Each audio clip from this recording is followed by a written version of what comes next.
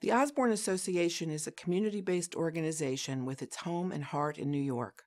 We're mission directed and passion driven to serve people whose lives have been affected by the criminal justice system. We exist to demonstrate that there are less costly, more effective approaches than incarceration to address the needs of individuals, families, and communities. Over our 80 year history, we've grown, along with America's prison system, to serve 6,500 people each year. This number includes currently and previously imprisoned individuals and families affected by the confinement of a loved one. Our headquarters in the South Bronx is in the poorest congressional district in the country, and our sites include Brooklyn, the Hudson River Valley, 10 state prisons, and New York City's jail facilities on Rikers Island. Our founder, an industrialist turned prison reformer who served as warden of Sing Sing in the early 1900s, vowed to turn America's prisons from human scrap heaps into human repair shops. He believed, and we see every day, that people can change and that everyone deserves another chance.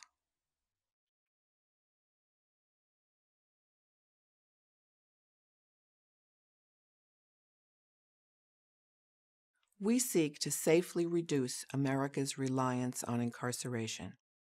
Did you know that we have the highest incarceration rates and the most prison and jail cells in the world? and that incarceration has led to the greatest separation of families since slavery. We have a staggering proportion of people of color with criminal records and employment gaps that reduce their earning power. And this significantly hampers their ability to provide emotional and material support to their partners and families. This problem is no longer isolated to a small number of people. Nearly a third of all Americans are arrested before their 23rd birthday. Osborne is committed to demonstrating that there are policies and practices that our country can adopt that'll reduce crime and its economic and human costs. But we can't depend solely on government grants to reach this objective. We need to build a private base of support from concerned citizens who share our faith that we can safely send fewer people to prison for less time.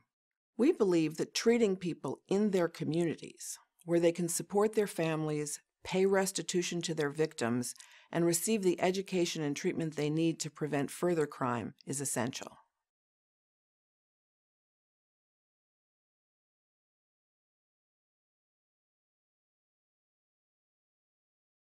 Osborne's the only organization in New York, and one of very few in the country, that has more than a two decade track record of focusing on children and families of incarcerated parents.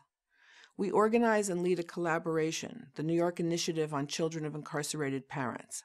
Out of that work, we leverage relationships with dozens of nonprofit and government agencies to advocate for system reforms.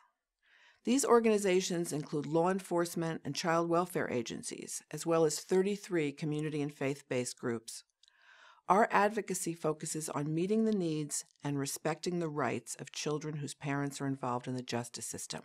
We engage all parts of the public and private sector in this issue and help people understand that our clients aren't just pariahs, but are also parents who love their children and can contribute to their positive growth and development. This broadens the base of support for system reform and reduces the stigma that children of prisoners experience.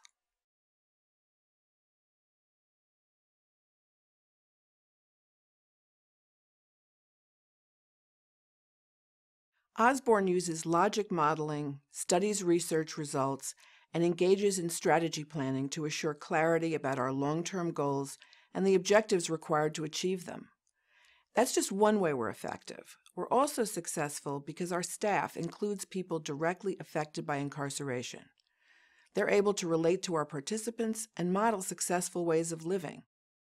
Another key to our effectiveness is that Osborne approaches every person in the context of his or her family, regardless of how that's defined. We also use interventions that are trauma informed, culturally relevant, and developmentally appropriate. Plus, we work with people while they're still incarcerated, and when they're released, and until they're reintegrated back into their families and communities. Another reason our programs work is that they're thoroughly prevention oriented. They're focused on preventing crime by reducing recidivism and offering a path toward a crime free life. Reintegrated families keep communities from breaking down, so we also offer diversion programs like drug treatment, parenting education, and employment services, addressing issues that contribute to reoffending. And finally, we encourage policymakers to consider approaches to crime and addiction that are less destructive to families and communities than incarceration.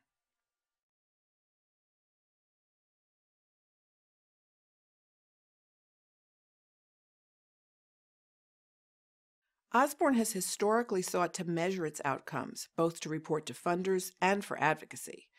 We utilize key performance indicators called KPIs for all areas of the agency. This includes our programs, advocacy, and administration. These results are reported to and reviewed by executive staff, program personnel, and our board of directors quarterly. We utilize SMART goals. That means they are specific, measurable, attainable, realistic, and timely. Because we work within the justice system, we measure the recidivism of our participants. But we also measure their achievements in education, job retention, and family cohesion. We know our participants have enormous challenges. But by taking a strengths based approach and using evidence based interventions, we've achieved enormous success.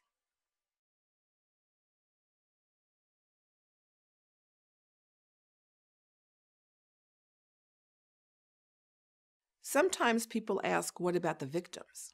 The truth is that we work with victim advocates and crime survivors to create approaches that address and respect their needs to be safe, to recover from the crime, and to regain control of their lives.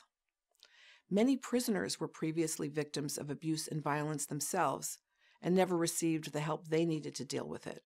Research shows that the vast majority of women in prison have been victims of sexual and domestic violence.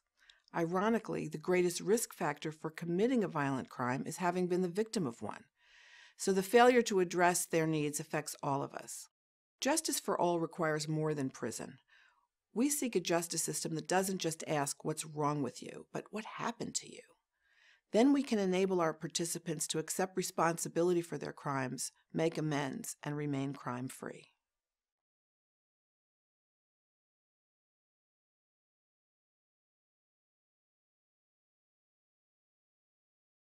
Osborne innovates programs that meet an emerging need and have potential to be replicated and scaled. We've pioneered numerous programs, and many of them have been adopted by other community based organizations and government agencies. For instance, we created the first comprehensive parenting program for fathers in a men's state prison. We initiated a national collect call AIDS hotline for prisoners and a toll free helpline for their family members. We developed a collect call quit line to support prisoners who are trying to quit smoking. Osborne started New York's first intensive outpatient drug treatment program that serves as an alternative to incarceration. And we initiated a relationship education course for men and their partners delivered inside New York State prisons. We began a restorative justice program in a state prison designed by victims advocates and formerly incarcerated individuals working together, targeting people who've been convicted of violent crimes. We designed the Green Career Center to prepare and train formerly incarcerated people for jobs in the emerging green sector, and we now launch new businesses and social enterprises that will employ our participants.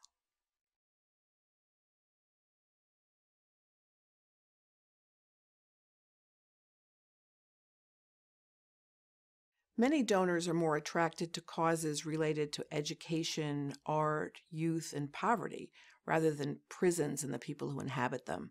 And politicians are concerned about appearing to be soft on crime. This makes both public and private investment in our work historically challenging. It isn't just funding that leaves us at the end of the line. When the national unemployment rate is 9 or 10 percent, the prison population and people leaving prison are facing a rate at least six times higher. We've turned more and more to earned income to support our programs. We've developed our own businesses to hire formerly incarcerated men and women and seek socially conscious investors as partners. We also encourage business owners and government agencies to hire people with criminal records and discover their value.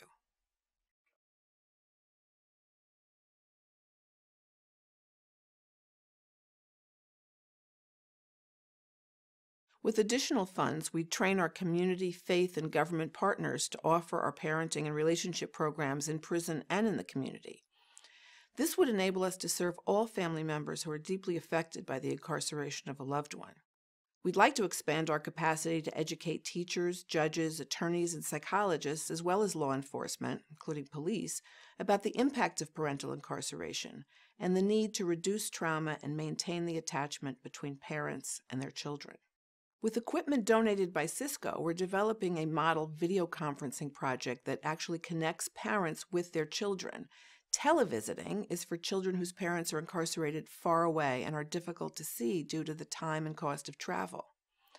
A TV screen is never going to replace the touch that children need, so we want to ensure that this new technology won't replace contact visiting, but offers supplemental benefits to parents and children.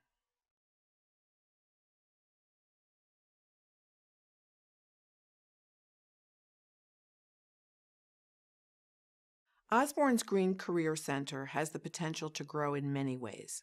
The center currently prepares and places people with criminal histories in green jobs, such as weatherization and energy auditing. With more resources, we'd add more hard skills training opportunities and create new jobs in green construction. We'd like to expand into other markets like locally sourced food, solar, and other sustainable enterprises that have the potential to employ thousands of clients and reduce recidivism exponentially.